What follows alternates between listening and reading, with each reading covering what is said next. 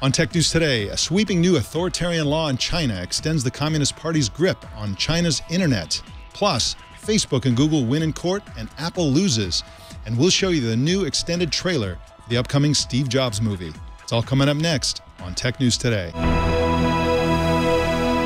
This is Twit. Bandwidth for Tech News Today is provided by Cachefly at C-A-C-H-E-F-L-Y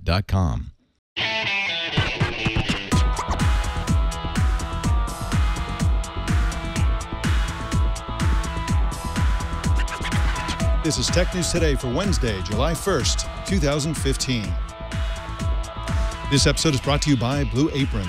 Blue Apron will send you all the ingredients to cook fresh, delicious meals with simple step-by-step instructions right to your door. See what's on the menu this week and get your first two meals free by going to blueapron.com slash twit. That's blueapron.com slash twit. Tech News Today is the show where we talk about the tech news with the journalists who report it. Welcome to the show. My name is Mike Elgan, and our co-anchor today is ZDNet contributing writer Kevin Tofel. How you doing, Kevin? I'm good, Mike. I almost didn't make it. I was uh, plugged into Beats One Radio trying to go the whole 7 by 24 and just listen nonstop, but I'm here. Somebody's got to do it. You know, I, I'm having so much trouble with that. I can't get it to play on my laptop, on my Mac, MacBook Pro. Um, it just won't play. So uh, who knows? It's probably doing me a favor. Um, I'm hearing all kinds of weird things about it. And uh, I'm also finding that the service is just very strange. When you first go in there and you do the Beats uh, mm. selection, to, you choose the red balloons to decide what sort of music you listen to, it then uses that information to show you the people you said you liked uh, under the, uh, the the Connect feature, or yeah, the Apple Connect feature, and it's uh, it's it's like only one of the people has a has a has a you know a stream. So mm. I, I, literally have one band. Uh, when I look at it, it's all very strange, and we've actually got some some uh, news related to that uh, that service as well. But uh, how are you enjoying Apple Music generally? Well, I was actually a Beats Music subscriber way back uh, about a year ago, so I find it very similar, obviously, because really this is Apple's twist on what they purchased. I think they spent $3.2 billion for Beats. Um, so that whole pick the uh, genres and artists with the red bubbles, I've, I've done that before. It was a little strange. It takes some time. Um, the Beats One radio is not really my style of music, uh, but that's okay. It's pretty interesting to me that everybody in 100 countries is listening to the same music at the same time. And, uh, you know, so far it's okay. Uh, I'm, again, to me, the biggest disruptive feature is the $15 family plan for six people. So, yeah, absolutely. And I'm going to be signing up for that as well, I think. I'm going to try it anyway. Uh, and you, you zeroed in on the on the fact in all this that I don't think we started talking about when we first uh, were reporting the news that they're going to have this BBC One like radio station, mm. uh, which is that it's the globe. It's the closest thing we've ever had to a global radio station that every you know lots and lots of people will listen to. It literally is likely to have higher listenership and simultaneous, more or less, and live than any source of music ever. I mean, I, I can't think of any sort of uh, situation like this when you you can imagine a million people listening to this at once. Oh, easily, or, or, or easily. Yeah, yeah. So that is kind of a weird thing, and it certainly gives Apple a, a lot of power to decide who listens to what and know, what gets sold and so on. So that is an interesting attribute of this. Well, speaking of places where there are lots of people, we got some news coming out of China. China's authoritarian crackdown under President Xi Jinping continues. The country enacted a new law today that may drive some international businesses out of the country and further suppress the Chinese people.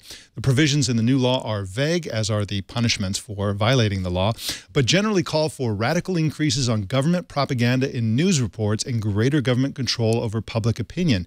This includes what the law calls national security education in schools and a crackdown on harmful foreign cultural influences.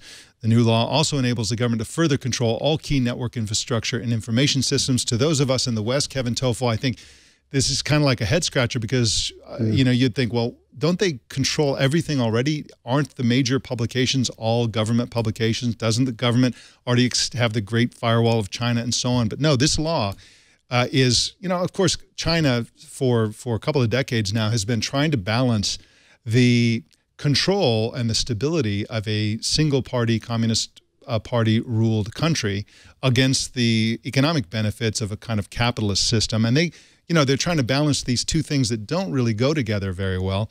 And uh, under the current president for the last two years, this has been a, a pretty aggressive swing toward the old school Communist Party control. I, I guess they figure that they're wealthy enough already. And, uh, and, and this, I think this is, um, I don't think they, the elites, the people who are enacting this, uh, this new set of laws, I don't think they realize the risk they're taking with the economy. I think they're going to enjoy mm. the, the, the control that they'll get. And of course, I think to to a certain extent, this is a, uh, a reaction to revelations about the degree of NSA surveillance of the Chinese uh, population and government and so on. But uh, what are your general thoughts on this uh, this unappealing turn of events? Well, I, I mean, I, I, think it's a shame for the the population of China. Of course, um, you mentioned what the, the government is trying to balance against. I think they're also trying to balance against the rest of the world that has a generally free internet. Yes, there are um, obviously countries that still have similar um, limitations on on what type of content can be out there and so on. But you know, around the world, we're all connected. The globe is getting smaller, and that's a really tough position uh, to, for China to fight against. Um, so that's that's issue number one. The other thing is, um, I think in the long run, this is going to hurt companies such as Google, which are already on the outs in China, and the uh, network makers in China that people don't buy their equipment. Uh, in the US, we tend to stay away from networking equipment from the Huawei's and the ZTEs. And I think with this, we'll, we'll probably stay away even more. So will other countries. Yeah, and the, the old, uh, you know, five, ten years ago, the, the thought was, man, you got to get into China because if you can just get a tiny percentage, any mm. percentage of that enormous market, you're going to make a ton of money. And now, you know, we're looking at the country and not a whole lot of uh, non-Chinese companies are making a ton of money, other than KFC and a couple of other, you know, uh, countries, uh, companies like that, maybe a car company or two. It's really not that lucrative a market, considering how huge it is, because the the system has already favored uh, Chinese brands, Chinese companies, and under these new laws, it's going to further favor those things, especially in the realm of internet and technology. So, well, Donald Trump's going to fix it all. So he'll fix worry. it all. He stood up to China. I saw an interview with him. He said, "I stood up for China." And it's like, "How did you stand up to China?" And he he sort of skirted the issue. Yeah. Uh, anyway, um, uh, he, the comedians must love the fact that he's running for president. Got some more news for you coming right up. But first, let's talk about Blue Apron. Blue Apron, you know, this is only for people who like good food. If you don't like good food, don't pay attention to this ad. Blue Apron will send you a box once a week with three meals for two in it, or if you have the family plan, significantly more than that. It's a refrigerated box with fresh, locally sourced uh, ingredients, including spices, all the stuff that you need to make your own food. Yeah, you have to chop your vegetables and all that stuff, so it's freshly chopped. This is a great service because it basically not only teaches you how to cook, but it will introduce you to types of food that you may not ever have considered making in your own kitchen They'll never send you the same meal in the same year. And these meals take about 35 minutes to prepare on average, and they're around 500 to 700 calories per person. And uh, experts source only the best seasonal ingredients. And that's really the, you know, there, there's so many attributes to Blue Apron that I could talk about. But the thing that's most important to me is the fact the food is so delicious. They do all kinds of really interesting things, too, that's very elegant uh, and efficient uh, recipes, they'll actually have you taking something like a lime, which they'll, of course, provide to you, and you use a part of the peel for one part of the ingredient, you use the juice for another part of the ingredient, uh, another uh, dish that you're making.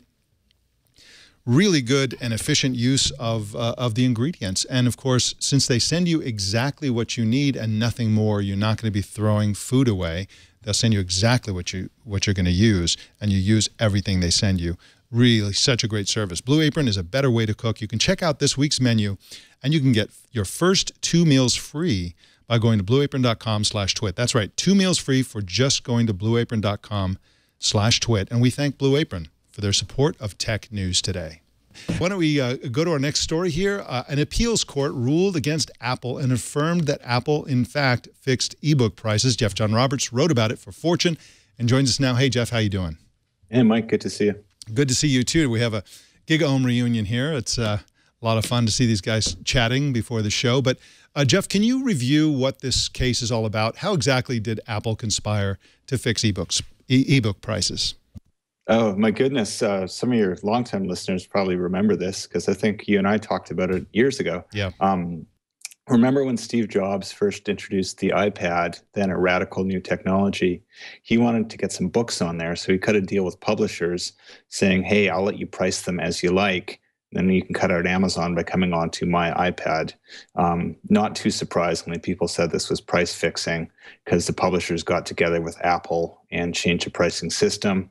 That led to a very high profile trial. Um, the publishers all folded their cards and settles and settled, but Apple um, kept fighting and is still fighting apparently, and they keep losing badly. And uh, yesterday was yet another ruling against Apple. On the upshot this time, though, is based on that settlement. Uh, that means Apple will have to pay out 450 million dollars via a class action suit. So if you bought uh, if you bought books on iTunes, you're likely to get some money or credits from Apple sometime in the next year or two. Hey, Jeff, uh, Kevin Tofel, it's good to see you again. Haven't talked to you since uh, our GigaOM days a few months ago. Uh, I had read the information on the case uh, yesterday. I saw the $450 million settlement and all. And if I remember, Apple actually started giving back some credits uh, last year. And as you said, they kept fighting this case. I mean, what is their defense here? What, what are they saying that they didn't do here? Because it's pretty clear what they did do. I think Apple's annoyed because you know books are a real sort of small time for Apple and are even less so now than they used to be. And it's a bit odd if you think of Amazon, how dominant they are in that market, that Apple's the one that's being sort of put through the legal ringer. And I think what they're saying is, you know, we should be able to price as we like, uh, and this helps competition. So the legal issue turns on whether doing this is automatically an antitrust violation, or if you should look at whether harm resulted. And you could say, wait a minute, this probably helped getting someone beside Amazon into the game. But I mean, this is sort of uh, done and settled. The publishers gave up the ghost a long time ago. Apple keeps losing, and uh, and but yet I think at this point they're just sort of it's a I'm trying to think of a non-curse way to say it contest between uh, Apple and the Justice Department. The uh, the average uh, viewer or listener to this show and anybody who's been following this news over time may wonder why it's price fixing for Apple to conspire with publishers to make sure that uh, nobody can undercut Apple prices. Whereas for Amazon, it's not uh, anti-competitive for them to sell below their own cost in order to uh, suffocate the market. Essentially, that it's it, it seems like uh, that is another to me as a layperson and a non-lawyer and somebody who who um, who's just looking at the fairness issue of this. It seems like uh, selling it below your own cost and below everybody's cost uh, and losing money in order to I, presumably eliminate competition seems like that's eliminating price competition as well. Why is it? Why is what Amazon does okay and what Apple did is not okay? Well, there are two different types of antitrust issues or monopoly issues. I think you're quite right. The dissenting judge yesterday said exactly what you did. Wait a minute, Amazon is selling below cost to keep other people out of the market, and that's of a form of dumping that should be illegal. However, um, under the law, what, Amazon, what Apple did was worse because they colluded with others and organized a conspiracy. I guess it would be like if you're selling a tech news show and you want to price really low for your ads to keep others out, you could do that. But if you got together with the other tech news producers and fixed the price, that would get you into trouble. Maybe it's a silly analogy, but that's the distinction they drew. Also, that Amazon's basically a retailer, they can sell whatever price they like, whereas the publishers are suppliers. And when they banded together to fix the price, that was offside. Jeff, as you noted, um, Apple just keeps fighting this. I know they they already lost a similar case back in the EU, I think in 2012, and made concessions there.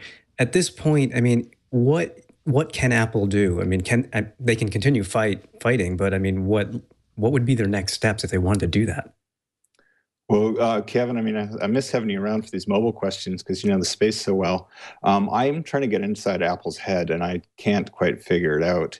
Perhaps their lawyers just keep egging them on because they've now hinting they might appeal to the Supreme Court. I'd be very, very surprised if that if that happens, or if the Supreme Court takes the case. And in the meantime, they're just really ticking off a lot of Justice Department lawyers. And what they hope to win out of it, I don't know. I mean, they can afford to fight. They're Apple but you know politically or strategically um, you know why do they care this is ebooks this isn't their turf i guess there's the pride issue. But you know, at some point, you'd think they'd cut their losses. Maybe you know, you guys have some insight. I don't get it myself. Well, if you do figure it out, you should probably write an ebook about it. Good luck selling it. Uh, Jeff John Roberts is at fortune.com. You can follow him on Twitter at Jeff John Roberts. Thanks for joining us today, Jeff. Thanks, Mike. Thanks, Kevin. Good to be here. A Vienna court has thrown out a class action lawsuit against Facebook. It was brought by Max Schrems, who charged that Facebook illegally tracks users and cooperated with the NSA surveillance program. Uh, and uh, joining us to talk about this is Paul Gillingwater. Welcome to you, Paul. Howdy, Mike. Uh, pleasure to be on. I'm so glad you're on. Now, uh, we need to start by saying that uh, this is a class action lawsuit that you are participating in, right? Exactly. I signed up in the early days of this, um, not so much for the money, but because I wanted to see what was happening and get an insider perspective. The money would be nice too. Uh, now, on what basis did they toss this out of court? Yeah, in this case, um, it helps to have a little bit of context. And part of that is that Facebook, as you know, has nearly 1.4 billion users. 80% of those users are outside of the US. And that means a large part of those users, 80%, are managed through their subsidiary, Facebook subsidiary in Ireland. Now, the court ruled that Schrems was, although he was able to bring the, the suit in the court, the court argued that it didn't have jurisdiction. And they argued specifically because Schrems had allegedly used one of his two Facebook accounts for professional reasons, and therefore, under Austrian law, couldn't be considered to represent a consumer because he was a professional user of Facebook. Paul, so what can Schrems do now? I mean, is it uh, can he take it to another country's court or or or re uh, submit the uh, the case as a consumer user of Facebook? What are his options now? Oh, he'll definitely be appealing this. Um, Schrems is, be, is no stranger to court action. Uh, some of you may be aware that uh, this started back in 2011 when Schrems first brought suit against Facebook in Ireland directly under European privacy law and was able to get a printout of his entire Facebook file. He was the guy who pioneered this. And so they had to send him a couple of thousand of pages in a PDF of all the Facebook information, which was uh, available on Max Schrems himself. So he'll be taking this to appeal for sure. He's disappointed by the ruling. Um, he knows, however, that he's in it for the long haul. He's made it clear that this is just the beginning. He's been doing this for a couple of years already. He's not making a cent out of this. So it's not a financial motivation. He truly is a passionate advocate of privacy. And of course, he's using uh, Facebook itself to promote his uh, Europe versus Facebook advocacy group. Uh, he knows a, a, good thing when he sees it. Uh, now, one of the interesting attributes of this story is that the number of people who are represented by the lawsuit is around 25,000 if I if I'm if I uh, recall correctly. But a huge number of people wanted to join and, and they basically capped it at 25,000. First of all, what is the total number of people who wanted to join this class action suit and why did he cap it? Well, he kept it primarily to keep it manageable. Um, but in fact, there are a further 55,000 who have already registered to join at a later stage. One of the things with these types of lawsuits is that you have no real restriction on when you can actually participate. In fact, you can join the lawsuit up to the last day in court. But they've capped it for the initial 25,000, primarily for administrative reasons, and so it's a nice round representative number. Now, if this if there is a judgment at 500 euros per person, 25,000 people, it's only a 12.5 million euro payday, which is around 15,000, uh, 15 million US dollars. The interesting thing about this is it's being funded by a German specialist legal funding agency, which will take a 20% cut if they win the suit. Very strange. Very, very strange. Paul Gillingwater is at thelocal.at. And you can follow him on Twitter at AHBLEZA. Thank you so much for joining us today, Paul. You're very welcome. Thanks once again. All right. Microsoft is continuing rollout of the Intel-based Surface 3 tablets that come with built-in LTE. The tablet will become available to business customers Friday in Germany and in the UK. And in the coming weeks, the tablet will made, be made available to commercial resellers in France, Germany, the UK, and in the United States. And if you want more information on the Surface 4 with LTE, stick around after this show for Windows Weekly, where Mary Jo Foley will go into all the details around this news. Kevin Tofel, are you looking forward to this? Is this going to be a, a popular device? What do you think? Well, to be honest, I do like the Surface 3 device itself. I think the problem that I have is the cost. And I think a lot of people uh, have the same issue. You know, once you start out at 499 and add a keyboard, there's another $100. And now if you add LTE, it looks like that will add another $100. So, I mean, it's very nice to have LTE in your mobile device without a doubt. Um, it's just, eh, the price adds up really fast on the Surface Surface 3, to be honest. I also think it's interesting that they have such a slow and gradual rollout of this uh, device. If this were Apple with a new iPad, they'd you know they'd ship you know 10 million in the first month or something like that, and huge numbers internationally. Uh, so we'll see if they succeed with this uh, strategy and with this product and at that price point. So uh, again, stick around for Windows Weekly after this show, and you can get more details on that product. Well, in product update news, YouTube's mobile apps for both Android and iOS have been updated to enable videos to play at 60 frames per second, which is great because this show and all TWiT shows are uploaded at 60 frames per second. That's why they look so awesome, Kevin Tofel. and so here, there's a there's an example. that, that's hilarious. It's so smooth. It's silky smooth. It's amazing. Actually, our live feed does not uh, show it at 60 frames per second. Only the downloads play at that frame rate. So, uh, yeah, still silky smooth though.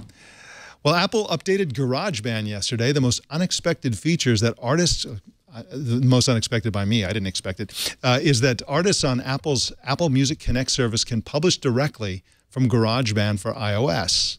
Other new features include 100 new electronic dance music and hip hop synth patches, and also a new Transform Patch Smart Control for customizing synths. It also has support for Force Touch. Um, Kevin Tofel, how many artists do you think are going to upload to Connect directly from their iPads uh, after having created their music on GarageBand? Well, I'm going to get my jam on right after the show and start uploading things. I, I have no idea. I mean, it's it's nice that Apple does put out these publishing tools. Um, it was unexpected to me as well that to see that you could have uh, direct publishing from GarageBand, but you know that's been a, a, main staple of their of their software products for years now for musicians. So it's actually nice to see it, it gain those new features as well as the Force Touch, which I, I don't know what you can do with it. Um, and obviously, you'd need one of the new MacBooks that have a Force Touch trackpad. Um, but uh, yeah, I, I, we'll see how many people take advantage of it. Yeah. Well, in courtroom drama news, Google won a court case in Germany yesterday. A German performing rights organization called GEMA wanted to make YouTube pay each time uh, users watched music videos by the artists it represents. And the court says, nope, Google doesn't have to pay. So I guess that's... No surprise there. Yeah, no surprise there. I guess that's mm -mm. good news for people who don't want to pay for stuff and certainly for Google who wants to continue to show the music videos. Well, hang on to your butts, folks. In news you can lose, the full Steve Jobs trailer is finally here. The movie stars Michael Fassbender as Steve Jobs, Seth Rogen as Steve Wozniak, and also has Kate Winslet and Jeff Daniels. Danny Boyle is the director, and most importantly, the screenplay was written by Aaron Sorkin. Let's watch the trailer.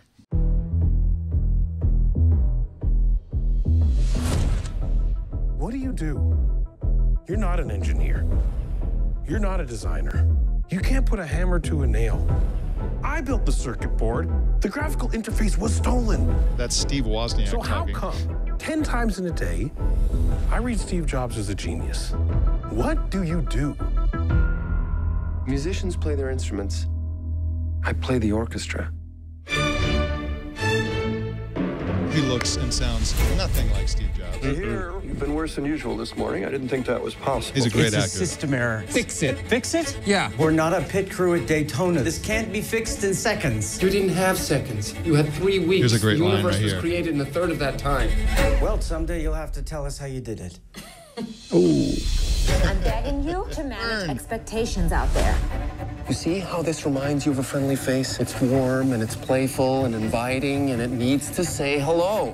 If you keep alienating people for no reason, there's be no one left for it to say hello to. Your Apple stock was worth $441 million, while your daughter and her mother are on welfare. She's not my daughter.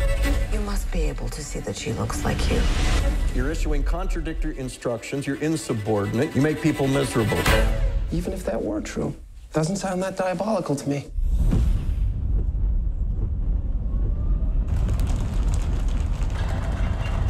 Spoken to the fire marshal and the building manager. They're going to come in and tell everyone to leave. If a fire causes a stampede to the unmarked exits, it'll have been well worth it for those who survive.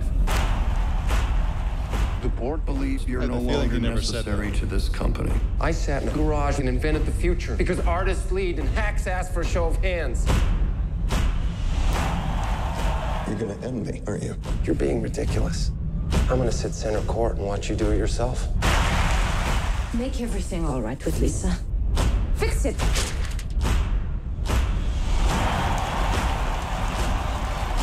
Ladies and gentlemen, please welcome All right, there it is.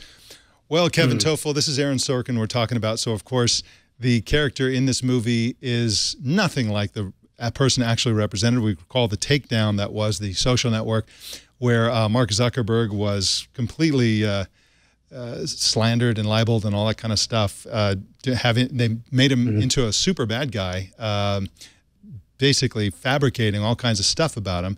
And uh, you know, for example, they they suggested that Facebook was created as a reaction to uh, Mark Zuckerberg getting dumped by his girlfriend. In fact, his current wife was his girlfriend throughout the entire uh, period. They they suggested that he created this Hot or Not app that uh, was all about a bunch of uh, frat boys judging women, when in fact the thing that he created was both men and women.